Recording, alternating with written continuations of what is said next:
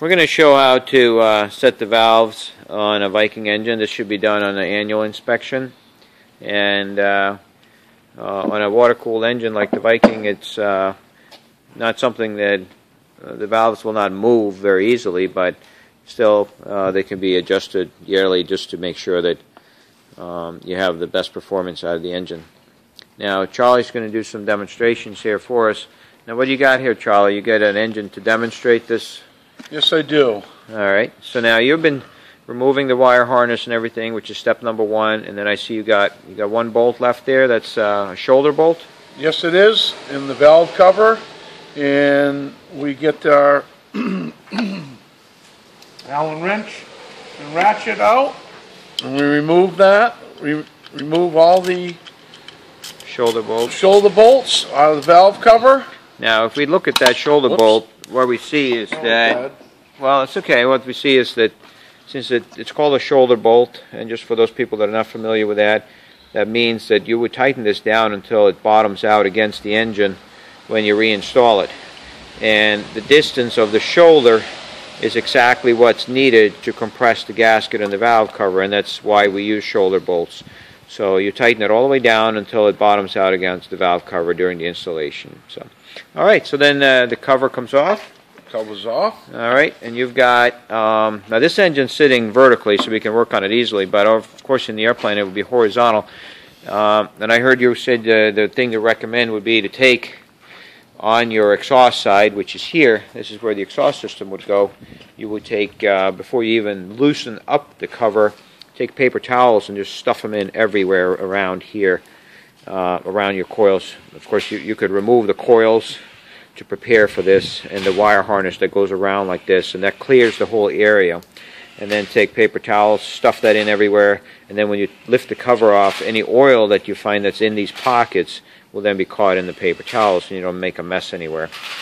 So now what's for step number one? Once you get to this point and you got um, the end of the engine open like that. What would you do next? I would get my 10 millimeter ratchet wrench, okay and I would loosen up all my valves, all the intakes and exhaust. now how can you tell what is intakes and what exhaust show me what the Well, th- this is the exhaust side of the engine. This is where the muffler will bolt up to.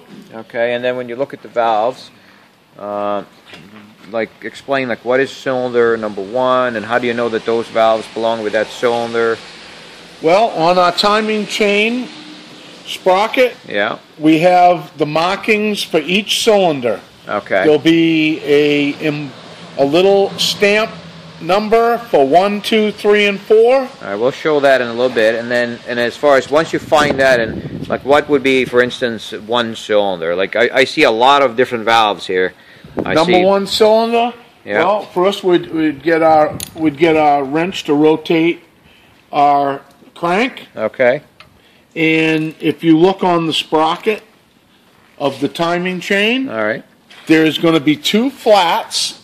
All right. Why don't we rotate that then, since we're doing All that right right. now? Why don't we rotate? it? we're going to we get the- rotate that around. And it, not only with the two marks, is also going to be the stamping of number one. I'm seeing all these valves move while Yeah. we're doing it. because I was not on top dead center of number one cylinder. Okay. So Now I am approaching it and I can see my marks on my sprocket of my timing chain. Okay. You can see the slash there and the slash there Okay. and just have them horizontally in line with the top of the engine block. Okay. All right. And that gives you top dead center. Now, looking at the manual over here, which is the Honda manual, you've also got the marks there. Uh, so if people were to get the manual, which is the uh, Honda manual part number, uh, let's see here, uh, you'd want to get the Honda manual part number 61TK600, and that's for the Honda Fit. And then you go to the chapter that shows you the cylinder head, and then move over to the valve clearance adjustment. You can read about the procedure here. Now we're just going to show it in the video. Now there's a mark there that says up And then, like you said, there are two lines. Right here's one and one here. Okay, so you just rotate the engine until those are horizontal, and that shows up. And that puts the engine on top dead center as Of cylinder number one. all right, so the piston is then all the way up. Now, which is number one cylinder? Number one cylinder will be the closest to the timing chain. Okay, so for those that don't familiar with engines, uh, this will be spark plug for cylinder number one, spark plug for number two, number three, and number four. And as you know, you've you hear this thing about four valves per cylinder. Well, here are the four valves. There's two here and two here. And cylinder number two, moving over, we see the plug is here. We got two valves here and two valves there. That's four valves per cylinder. So what you're seeing is the top of the valve, the adjustment of the rockers on the valve. So we've set it to top dead center, and we have our four valves here. Uh, what's the next procedure? Well, I would, I'll, I'm, I'm gonna unloosen all of them. I'm gonna lo- unloosen all of the rocker arms. Okay, Just to get them all loose at the same time. at the same time. Just, just break the nut loose. Okay, Would be the first step. Go right down the line. so you're on number one top dead center, but you're just getting everything Right. loose because you know that you're going to be adjusting the valves I'm gonna be adjusting them all, so I might as well just get them all unloosened. Okay.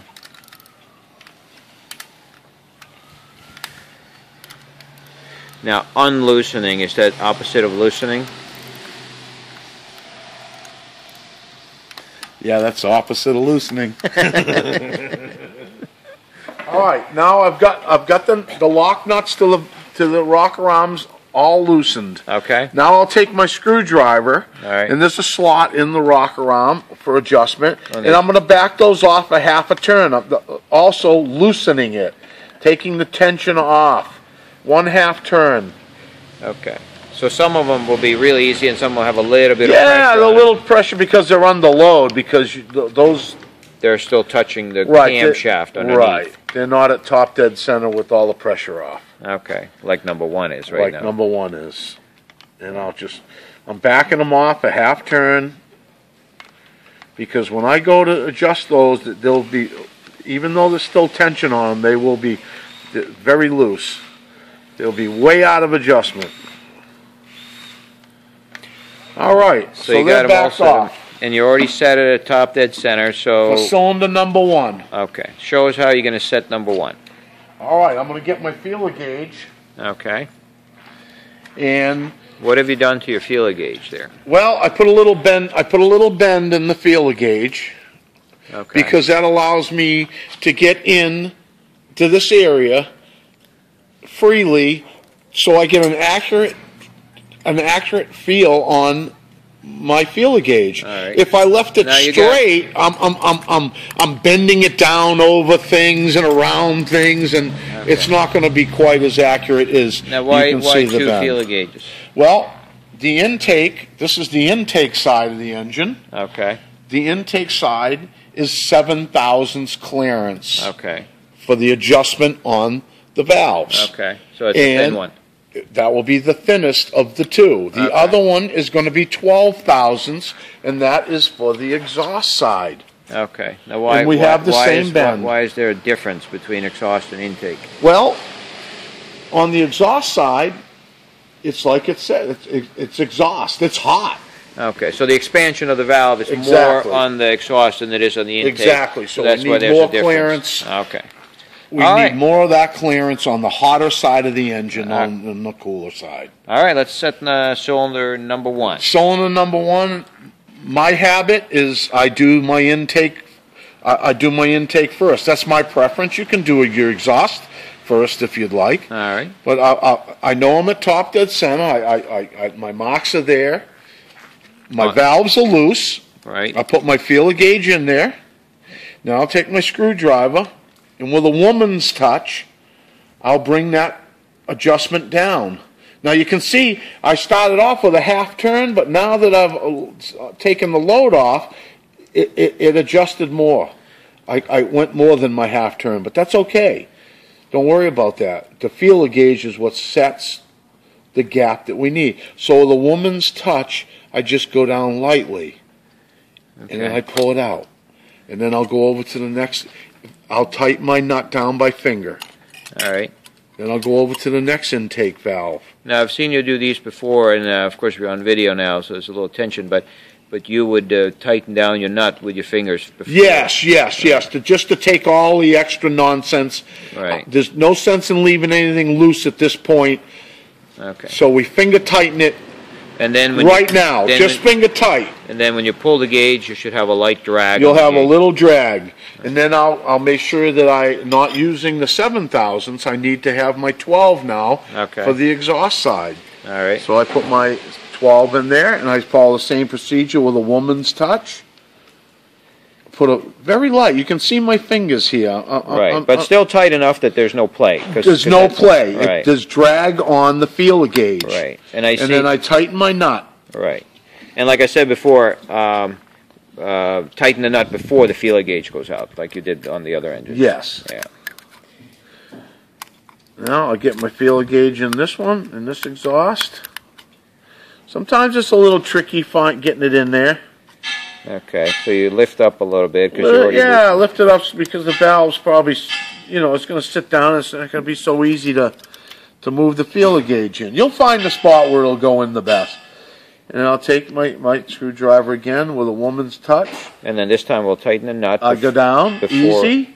Then I take my slack out with my nut, Yeah. And then pull it. and then I pull my my Right. gate. And this way you know that everything is good because you tighten it down, you set the nut with your fingers, and you still had some drag on the feeler gauge, and that tells you that everything is okay. Now, what's the next step? Now the next step is to get yourself an inch pounds torque wrench. All right, with a quarter inch drive is used. Quarter Yep. inch drive on this particular inch pound torque wrench. All right. And then we set it to the required 100. inch pounds, which 100. is 120 inch pounds. All right. Not foot, inch. Right. And we set that. And now I will go over to my intakes. I started on my intake side, so I'm going to continue the next operation from the intake side. I'll put my my um, torque wrench on, and I'll rotate my torque wrench to tighten until it clicks, and I'm there. And I try to put my torque wrench on and always go in the rotation of tightening.